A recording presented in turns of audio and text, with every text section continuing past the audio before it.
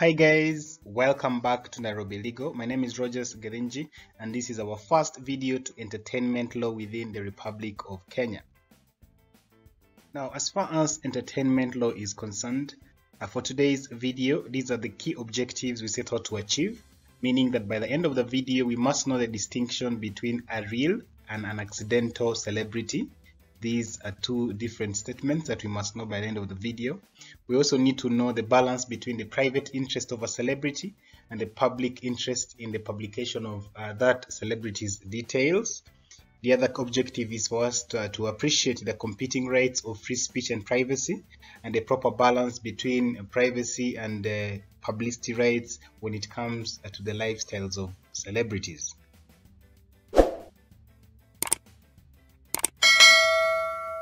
As a celebrity, you have a right to publicity and a right to privacy. But you need to appreciate that in the context of entertainment law, the more of a celebrity you are, the less privacy you have, and the less privacy the courts are willing to give to you. So what I mean here is that because you're a public figure, uh, the public is going to be interested in your activities, meaning that whatever you do, the public will have an interest in it because they are used to you um, exposing most of your daily life uh, affairs.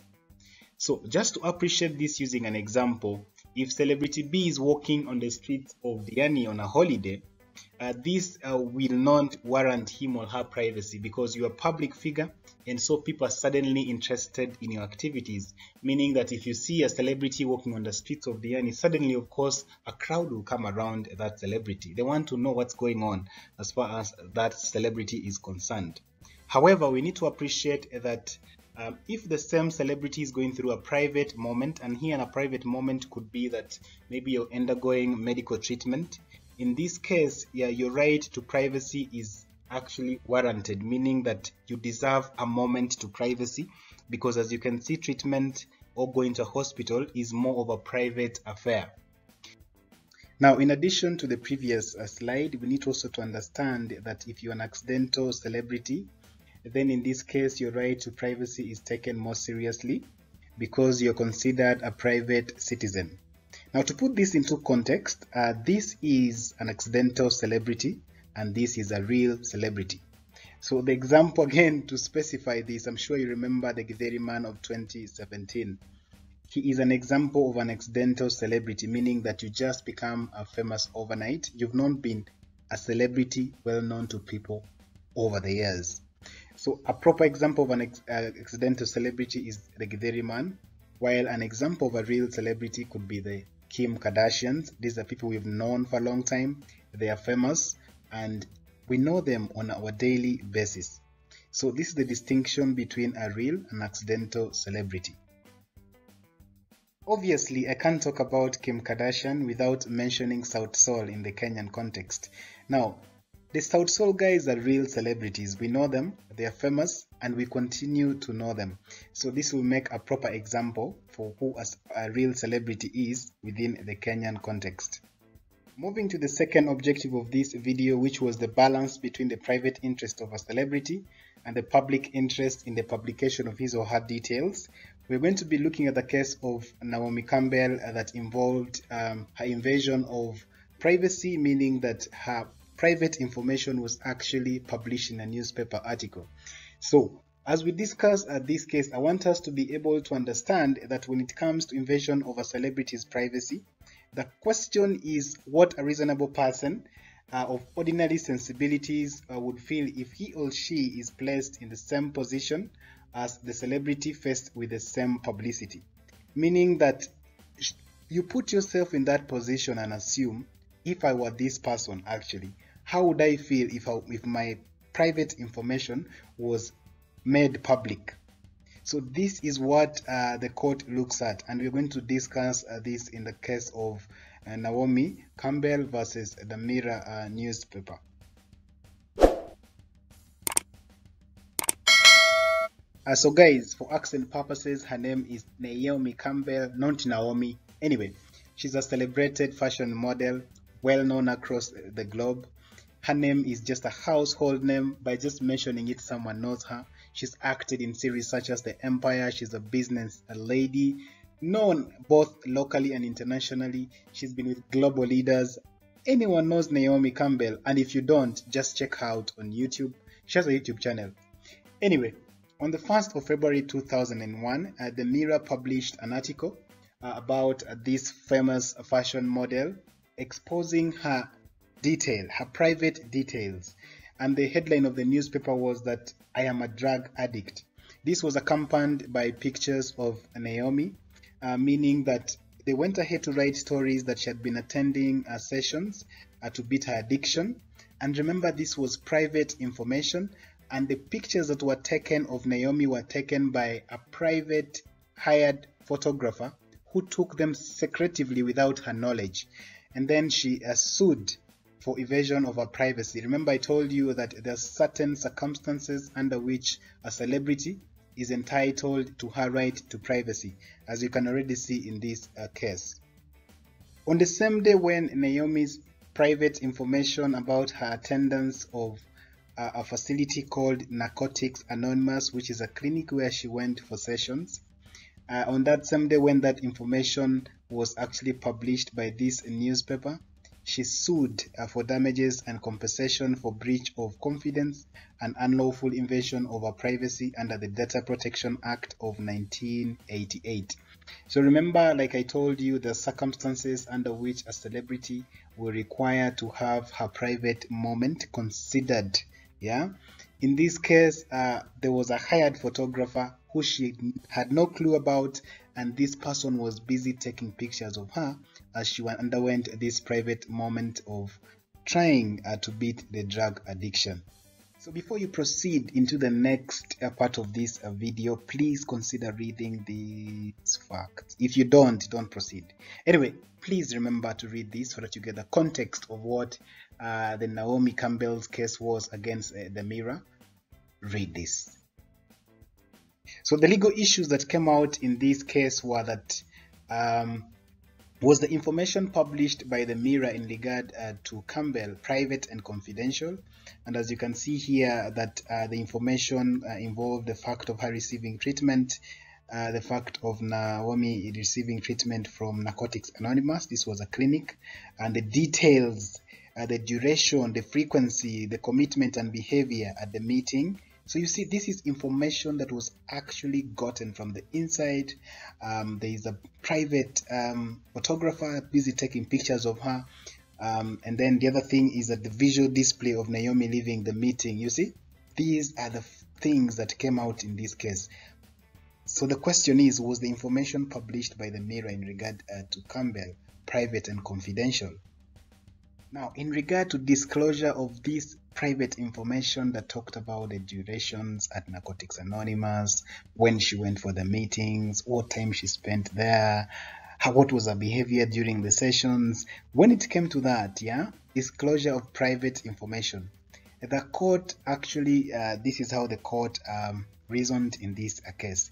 The information published by the Mirror was uh, confidential and private in nature and was obtained in breach of confidence. Remember, this deep information was gotten from the inside of the clinic, yeah, in breach of confidence.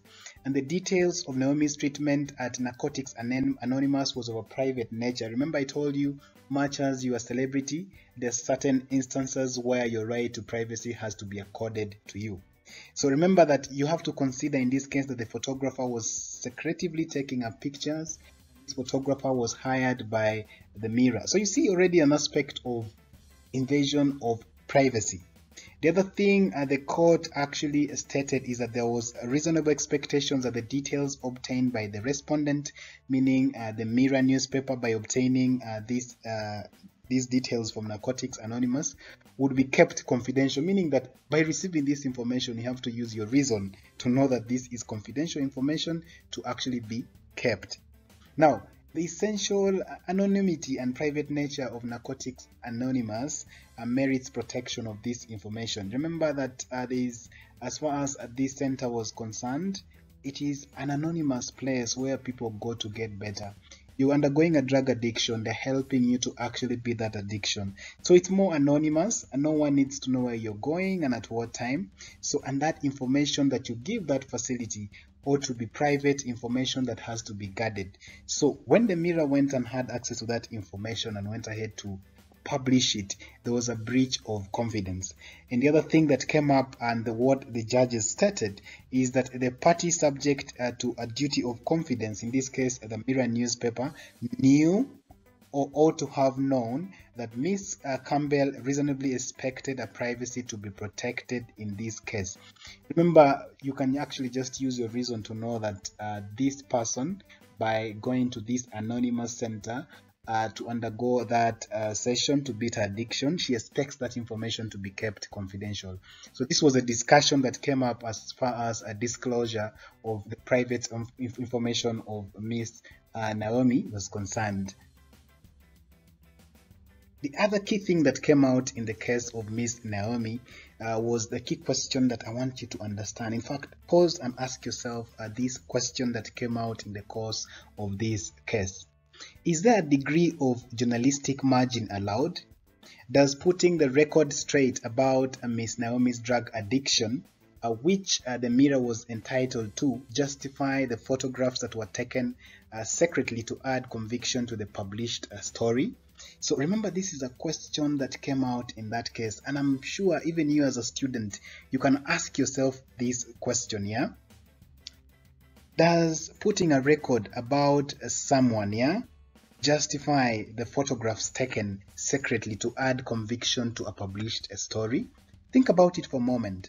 And so, as far as this was concerned, the court stated that the mirror's freedom of expression, yeah, in terms of um, publishing of Naomi's details when she went, underwent that private session, does not justify the publication of private and confidential information received in breach of confidence.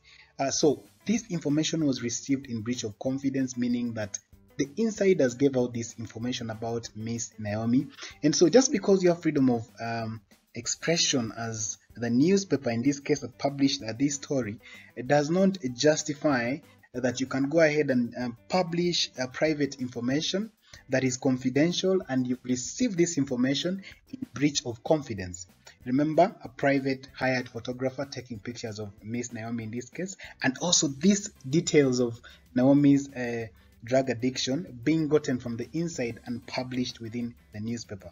So the Mirror was not uh, correcting any falsehoods in uh, Campbell's treatment of drug addiction, meaning that you know the way uh, newspapers uh, come out to correct a story and bring out a fact or the truth.